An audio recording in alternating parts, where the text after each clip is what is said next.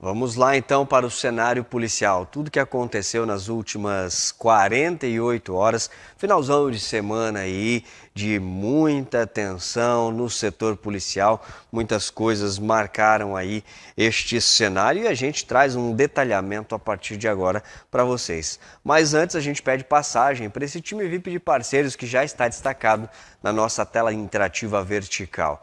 E eu já começo a falar do Winchester, que é o centro de treinamento e clube de tiro, um dos mais modernos do Brasil e fica em Itapema. Se você não conhece, tem que conhecer. O posto Chiquinho, onde você abastece e sente a diferença, seu carro agradece. É no coração de Tijucas, hein, gente?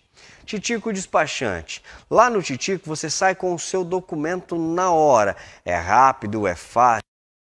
E olha só, se você está aí com o seu documento por vencer, aproveite, porque no Titico pode pagar em até três vezes sem juros.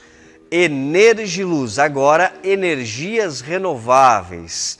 Na Energiluz, com posto de atendimento em Tijucas e lá na Central, na Matriz, em São José, você encontra o melhor atendimento. Último, a Manecar Veículos e Consórcio. Seu Maneca está lá pronto para te atender. E na Manecar só anda a pé quem quer, passe por lá, fale com o seu Maneca ou com toda a equipe, eu tenho certeza que você vai ser bem atendido. Vamos então trazendo aí as principais informações da nossa região. Muitos casos marcaram aí as últimas horas e a gente já começa falando de um marido que acabou bebendo demais, né? Passou da conta.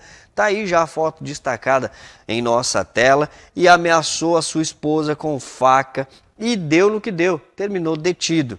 A polícia foi chamada para uma briga com facas no residencial Giacomelli, em Nova Trento.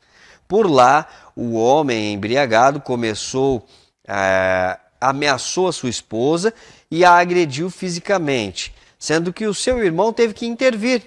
E o autor fugiu com uma faca. A polícia então encontrou em sua casa é, e ele admitiu a discussão e também a ameaça, mas negou os ferimentos. Ele foi preso e levado para a delegacia de Brusque. Tá aí então esse caso que realmente marca a nossa região. Afinal de contas, a gente está trazendo aqui constantemente muitos casos onde a Lei Maria da Penha é aplicada, mas infelizmente os homens continuam ainda a manter ou a fazer estes tipos de crimes, né, gente? Bom, a gente muda de assunto, muda até de cidade, porque a gente vai lá para Itapema. Lá a situação está bem delicada por conta das invasões.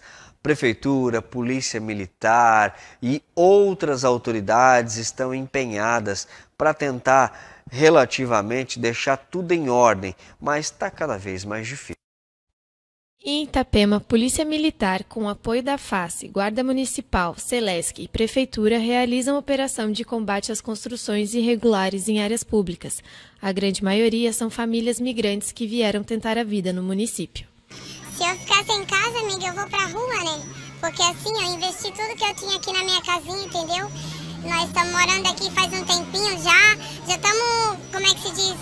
É, vendo como nossa casa, entendeu? Então nós, nós não tem pra onde ir. Se nós sair daqui hoje, nós vai pra rua. Eu sou do Rio Grande do Sul, eu vim pra Itapema por causa que aqui o serviço tem bastante serviço. É, a gente pensava que era ser melhor pra nós do que lá onde a gente morava, porque lá tava bem, bem mais difícil do que aqui.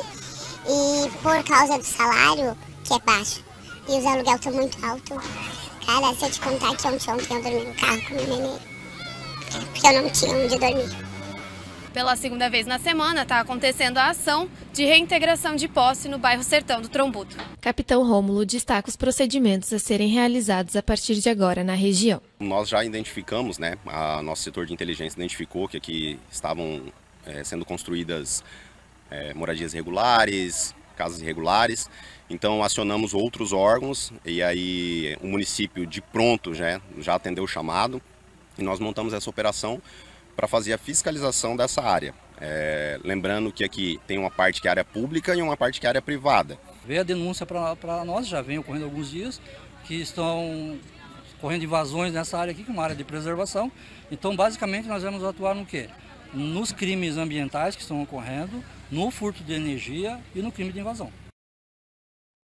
É, e essas operações devem continuar, né? Segundo a polícia, segundo a Secretaria de Segurança de Itapema, ações como essas vão acontecer ainda para justamente deixar a casa em ordem. Olha, a gente traz mais informações, já está destacada também no nosso site, uma mulher que acabou trocando o seu celular por drogas, gente. Pois é, ao dar ao dar o seu celular em troca de drogas, a suposta vítima de um roubo e sequestro foi desmascarada pela polícia de Bombinhas.